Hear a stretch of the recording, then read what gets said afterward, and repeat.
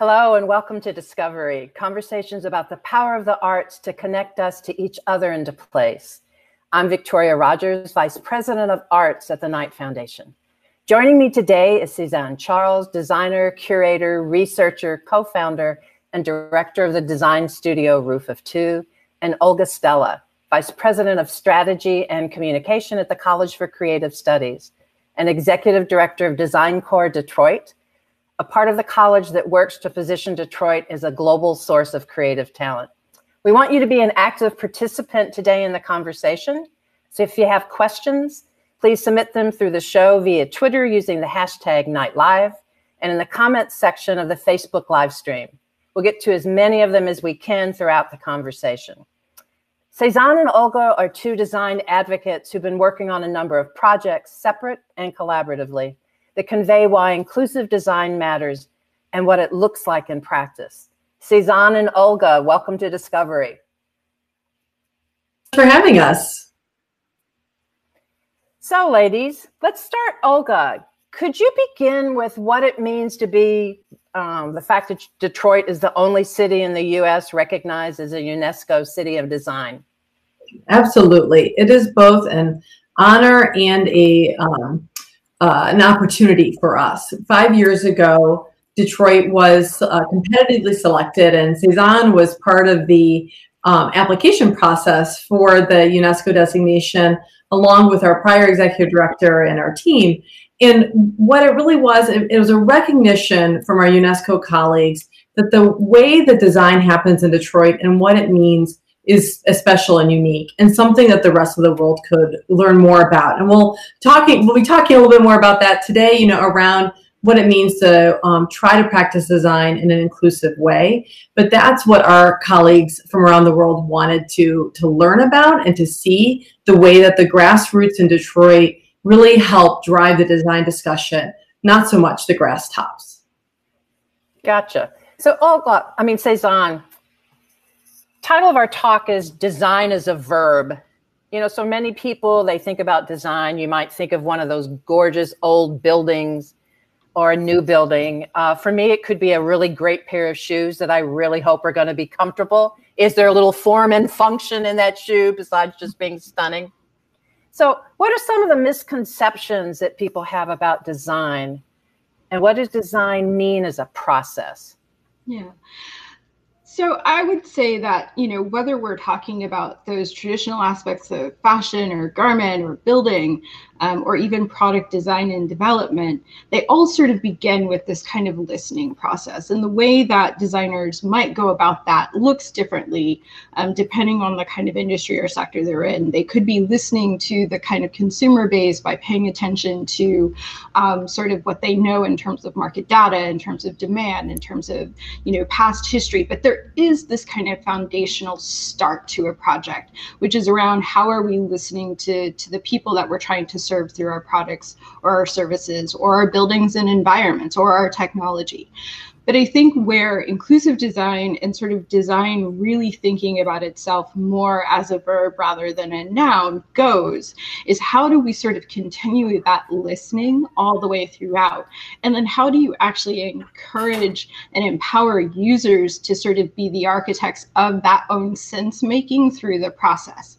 So I, I think it's more about then how do you carry that listening throughout and how does listening turn into engagement and accountability? And i think that's the the kind of shift that we're seeing as we talk more about inclusive design and certainly design as a set of processes that are really supposed to be um, in a in a virtuous kind of feedback loop with the very people that you're designing with and for. And i think uh, that the biggest pivot is that designing with as opposed to just designing for and it, that sort of goes beside, um, beyond that term I'm so used to is the design charrette, where it's sometimes it's it's a one time. You know, it's here's the design, you get feedback, sort of, but it's not necessarily an ongoing conversation about the process. That's so true. I think that um, you know one of the things that's really hard is is you have to think about and kind of explore your own design process to really think about you know where can you sort of um, be looking at opportunities for ongoing engagement. And those have real like timeline and budgetary constraints. And so not every design process will always be fit for kind of running a fully inclusive process but unless we sort of check our assumptions that we have to run processes that don't have kind of the right kind of timing or budgeting or scheduling that sort of um, earmarks inclusion as a principle you know so how are we resourcing inclusion as a principle in our projects then you do get kind of um, the the sort of you know here's my design here's this active persuasion um, that i'm doing as a designer where we're in conversation but i've already baked in a lot of assumptions already into yeah. the into the project or work. So olga why do designers need other people to be involved in the design process? They're trained you know we're getting to that now. They're trained professionals with a specialized knowledge and this experience why aren't they in the best position to design places and products and services for the rest of us?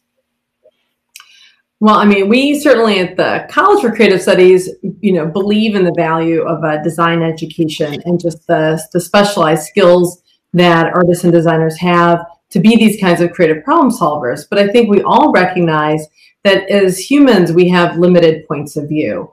And that when, you know, to Cezanne's point, um, you know, as we were talking about what it means to design as a verb, um, this idea of designing with people, of being engaged in relationships with people, that's a, a practice that um, also requires learning. And it and it's not necessarily um, the way that designers have worked. Of course, there are um, you know, leaders in the field who who have been doing this. As I mentioned before, you know, we have you know over 60 partners in the city of Detroit alone who have been practicing in different ways uh, many inclusive design practices. But our educational institutions have not um, necessarily this kind of practice of designing with people. Um, you know, it still needs a lot of work. It still needs to be institutionalized. There's, um, I think, still very much a um, you know, kind of, um, you know, my point of view, my kind of bespoke creation um, view that a lot of um, designers have, and sometimes that's that is pushed by budget. It's pushed by the um, constraints that um, a designer is presented with, whether it's time or the client's expectation, or you know, for many reasons. But I think what what you know we have found, a more real proponents of the work that Kat Holmes has done in her book, Mismatch, is yeah. this idea that when we work with others, when we start to break down this process and really engage the people who are typically most excluded from places, from products, from services, we're going to get better products with better customer engagement, you know, bigger audiences. We're going to reduce our the, the issues around fixing things that go wrong later and we're going to be more innovative. And so this is this is a skill that um, that does have to be taught, and um, some institutions like CCS are, are really looking at how to teach that, but it's not necessarily widespread through the field. Yeah, I think one of the personal experience here in Miami um, when I was working with the, the New World Symphony and we had Frank Gehry designing the building and we had West 8 as the landscaper for around it, but we were the developer for city property. And mm-hmm. how, how that's different when you're working that in a city space and public pr- private property, but that they all impact us. But Adriaan Geuze at West 8 was a master at really listening and incorporating people's thoughts. And I think they ended up with a, a really good workable public space that was outside the front lawn of the building. But let's go. Let's think about uh, some of the projects that the two of you are working on in Detroit. So, you know, Olga, you recently released a design guide for real estate development. Why yeah. this guide, and why did you create it? Yeah, we. Um, this is the second in a series of design guides that um, Design Core has produced. The first one, uh, design the design guide for neighborhood business. And what we wanted to do with um, with these is really it's not a guide that teaches design. It talks to this guide in particular is talking to real estate developers, especially emerging ones, you know, um, folks who are trying to work in community about the design process and how to engage with designers. And I think one of the things that is special about this guide is is um, what we try to do is pull pull throughout in each part of each uh, phase of the real estate development process to really try to make the case not just for why a designer is going to bring value to the project, but why more community engaged practices will bring value to a private real estate project. And um, and try to give some practical tips for developers who are trying to work in Detroit neighborhoods because I think we're all um, you know, as, as advocates for inclusion equity are really committed to, you know, how can design help drive more equitable outcomes as we see, you know, real estate development happening in, in Detroit. And another one, I was reading in one, I think it was from a speech that you had getting had given, but not so interested in the development of public space. Mm-hmm. And I know that one of those, the Wilson Jr. Centennial Park design and the Detroit Riverfront Conservancy. I mean, having enjoyed that, I just wonder if you could just talk a little bit about that, the process that was used, or how what's really important about designing a public space that works.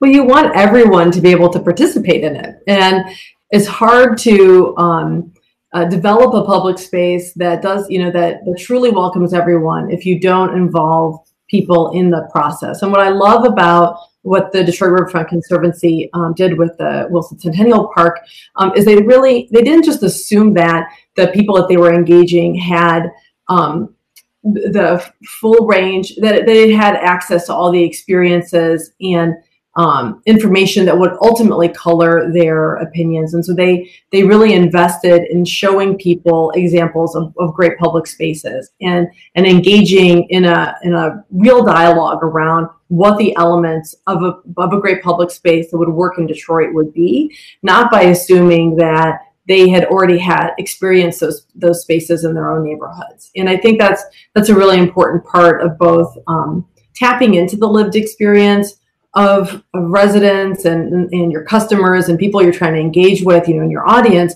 but also recognizing that um, there's an opportunity to broaden what those experiences are too, and to have a, a deeper engagement around the content that way.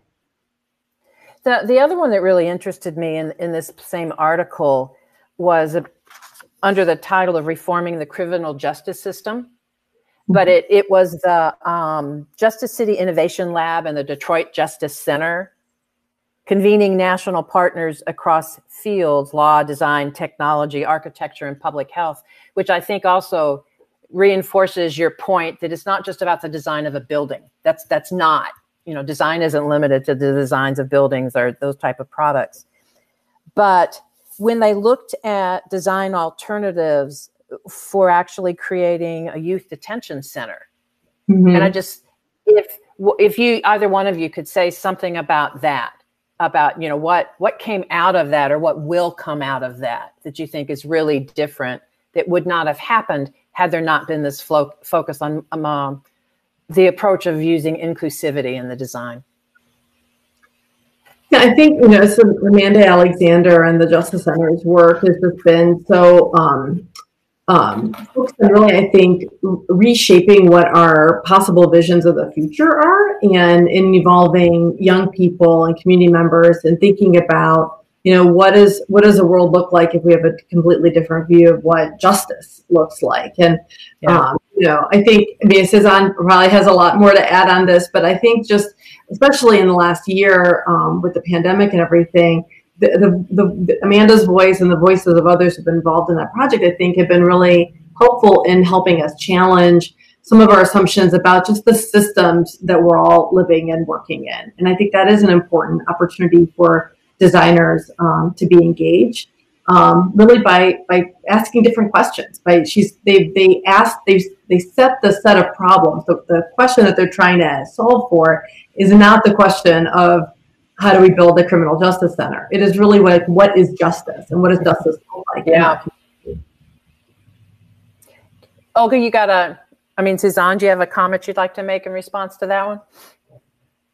Yeah. So the thing that I find, um, as Olga mentioned, really interesting about that project is the way that it sort of asks us to sort of reimagine a kind of reality, a kind of lived reality that we've inherited that often we feel disempowered to do anything about. And so, really, that work feels very centered in the way that design can be a powerful force for both collective reimagining and sort of shaping more just and equitable futures. And then the idea that buildings and products and services and policies flow from that, right? Like fro- flow from that point. And also the way that they have thought internally about then what that means as an organization bringing in kind of artists and designers as residents into the heart of like their work and sort of the case they continually make um, as advocates for the for the idea that the construction of our environments does play a really vital, large role in our construction of sort of civil discourse and civil society. And so I think that that's um, really a powerful framing for what design can do in service of kind of other um, realms, other expertise, other other interests.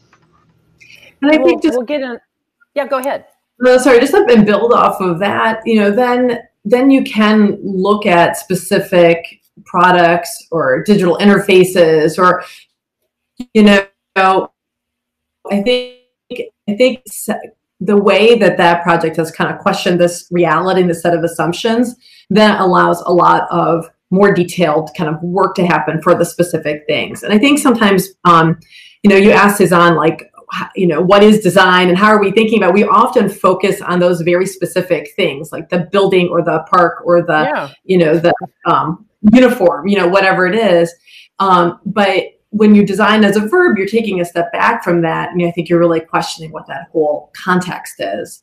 Um, and that's where the engagement with the people who are often excluded, the people who don't get their voices heard, the people who don't get to be at the table or in the room, it's at that point where I think it's most important because then the kind of design expertise of that trained professional in developing the product has flows from those those experiences and viewpoints in developing better a better website or product or you know um, you know place for for people. We're gonna we're gonna talk a little bit later about a project the two of you are, are working on but you know so much of this is you have people that come out as architects and engineers and all of these other things that aren't necessarily trained in that or not necessarily as aware that you might want them to be. So, what has to change, even with the training of people that are in design, for for what you're talking about to be really successful? Well, I think Cezanne should should take this one because at the college we've um, hired Cezanne and John Marshall, her partner at Root of Two, to help develop a new approach for us, both as we think about our interface with the community, but also as we think about our faculty and students and staff and the kind of impact that we want the college to make in the future, um, both through Design Core, but, but as an educational institution. So I'll turn it over to Design, to Cezanne. Thanks, Olga. So yeah, we've been really excited to kind of dig in and think about how you sort of um, build the idea of a, of a basis of like training or curriculum or professional development um, that in and of itself kind of practices what it preaches in terms of learning how to design with and through um, you know communities and residents that may not be coming with design expertise to the table but come with a whole host and range of kind of lived expertise um, that ha you know that is vital for sort of getting the sort of problem framing, problem definition, or issue definition um, and frame right at the start of a project. And so, you know, for us, that work has really been about how do you sort of um, understand some of this kind of tried and true ranges. Like as designers, we may not sort of think of ourselves as being like the most empowered or powerful person in a room, but quite frankly, when we sort of um, sort of find ourselves in community, we sort of fail to sort of understand our sort of expertise, our sort of privilege, our own sort of power, and we don't appropriately negotiate or cede that in ways that we should. And so, you know, what are the set of uh, practices that have to sort of um, be strengthened in our discipline uh, in order to sort of meet people where they're at and really understand what's vital about the kind of ways that we should be thinking about co-designing um, with others for sort of more just and equitable whether it's products or services or or communities we have to really think about that. And so we've um, gone through almost a year long process now where we've been interviewing, we've been working with people, we've been running kind of workshops, we've been benchmarking and looking at kind of best and next practices um, from folks who are already kind of doing this both kind of in community situated contexts as well as in sort of educational context, higher educational context, and really trying to, you know, learn from the field what are those practices that have found some success and then trying to think about how they can sort of help us operationalize um, the very things that we're starting to see from the unesco city of design partners in detroit mm-hmm. and many others that are not partners in detroit who have you know um, always been working in this way and so how do we sort of turn um, sort of that listening and learning back on ourselves to think about like you know what are the things that in our discipline are quite frankly problematic uh, where do we have to stand up and hold up our hands and say that the discipline has run alongside of capital in ways that have been both pernicious and harming in communities of color across the country and in cities across the country and for sustainability and climate change across the country, right? So there's a lot of sort of responsibility and accountability that we end up having to think about in terms of the way that the discipline in sort of assuming its very neutrality um, has sort of perpetuated these harms. And so, if you know that that's the context that communities meet you with, you have to sort of be, you know, first able to acknowledge that. I think. So we so talk. We've got, a, we've got a question um, that relates to that. So this is from Peter. I don't know which city, but I know here in Miami we think about this a lot. How can design promote a healthier and more welcoming environment? So your last comment sort of touched on that, but what would you say in response to that? So my first response is trust is everything. Um, you kind of can't move forward with any sort of design process unless you've established a basis of trust. And sometimes that means really acknowledging deeply harm. You have to sort of think about what may be trauma informed practices that need to sort of um, be embraced as kind of the start of that. And, it, and I think that builds a lot of the kind of um, capital you need with the with the communities you want to work in service with. Um, and then from there i think you can sort of start to articulate a vision you know much like we touched on with kind of amanda's work at djc like you can start to really embrace a vision of what is health right? What is safety? What is justice? How does that sort of give us the built environment that we deserve and need? How does that give us the kind of access to technology that we might need? Um, how does that give us the kind of products and services and systems that we need? But I think unless you kind of start with that um, real level setting of where you've been as a discipline, what your own positionality is as a designer, and then sort of um, look to sort of build trust off of off of that um, you can't really define what is a, a fully healthy system or city um, yeah. without those things. Olga, you have anything to add before we move on to a? Yeah, I mean, I would say I think flowing from that um, kind of the problem framing that Cezanne outlines, like what do you mean by a healthy, welcoming environment? Yeah. It, it's in every single detail. I mean, ultimately, what designers are doing is they're arranging parts and pieces to create you know these systems places products so on right? And and they are they they have the creativity and the the skills to be able to figure out how to make these parts and pieces go together. But sometimes you know even like a, a font a typeface can signal um, something different to maybe a different cultural community than to another one. And it is really about um, I think being extremely intentional about every single decision. Every single decision matters. And if you do it within the frame, if you properly set your problem, you have a, have a really inclusive view of what this context is with all these voices at the table, you can make um, all of those decisions in a much better way. So, a problem that, you know, um, not a problem, but a project that is, is close to my heart anyway is this the opportunity to create sort of a, for, full, a formal cultural district in Detroit and the work that both of you have been doing on that, but especially um, Root of Two.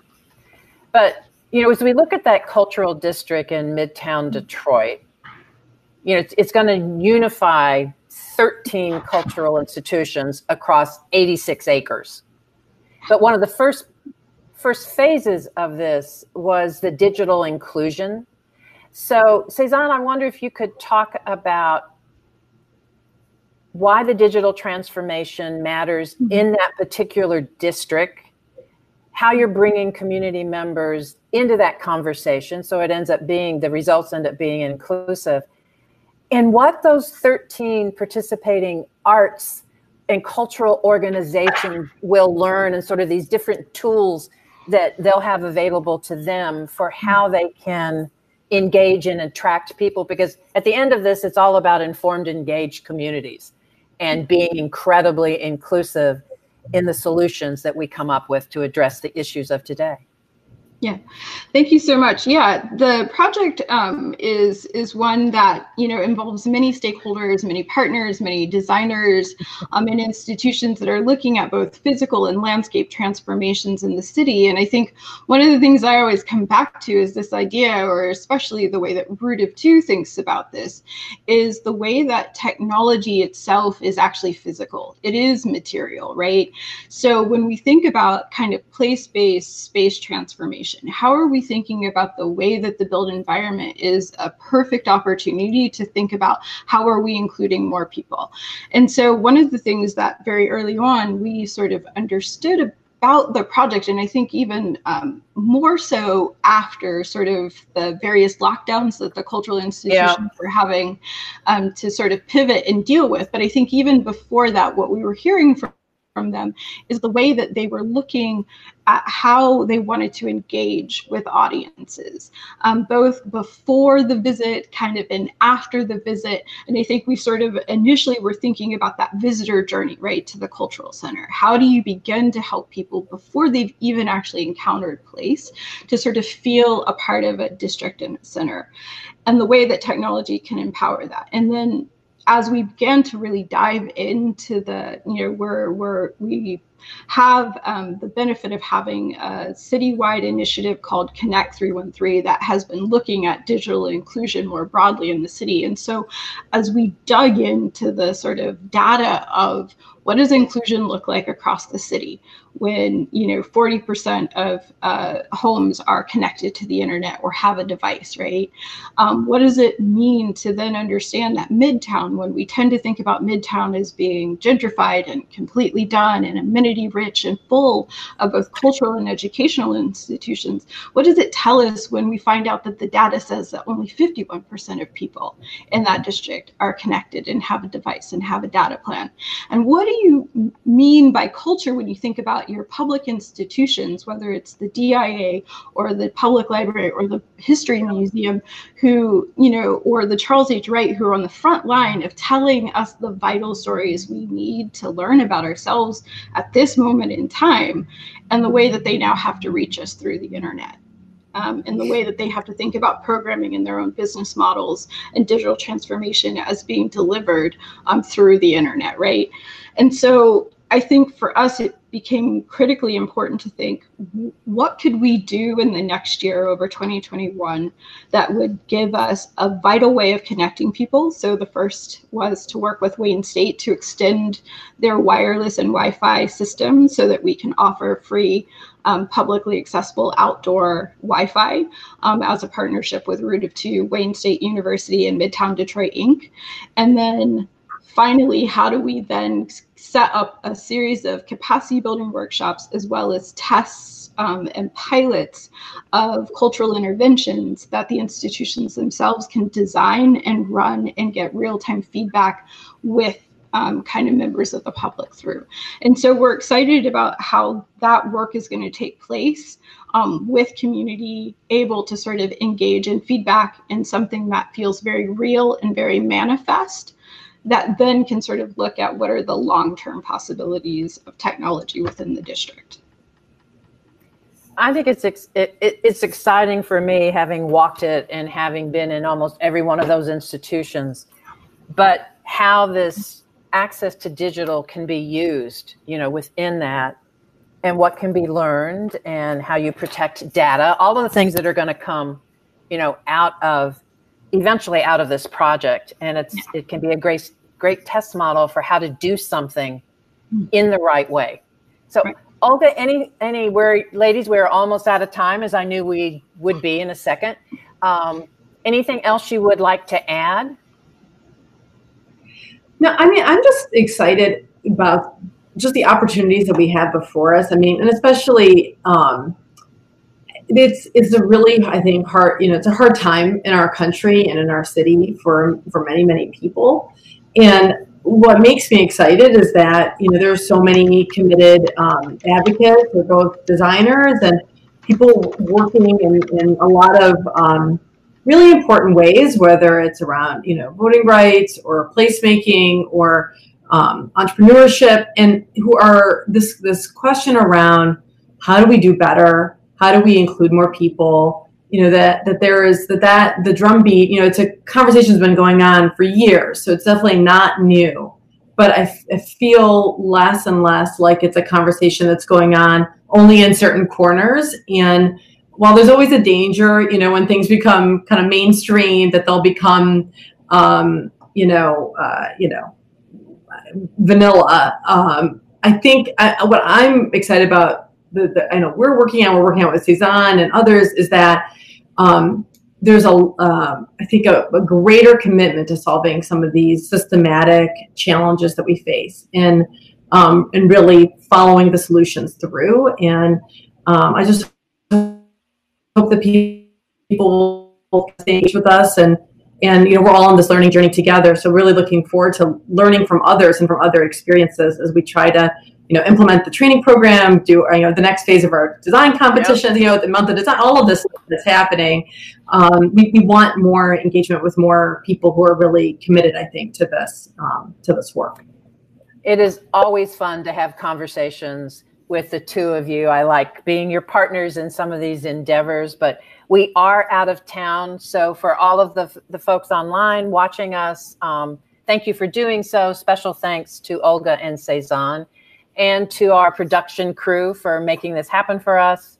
The beats you heard at the top of the show were actually created by Chris Barr, uh, our director of art and technology here at Knight. And the music that is going to play us out is composed and performed by the amazing jazz pianist Theron Brown. But next up on January 21st on Knight Live is a session, an episode of Coast to Coast.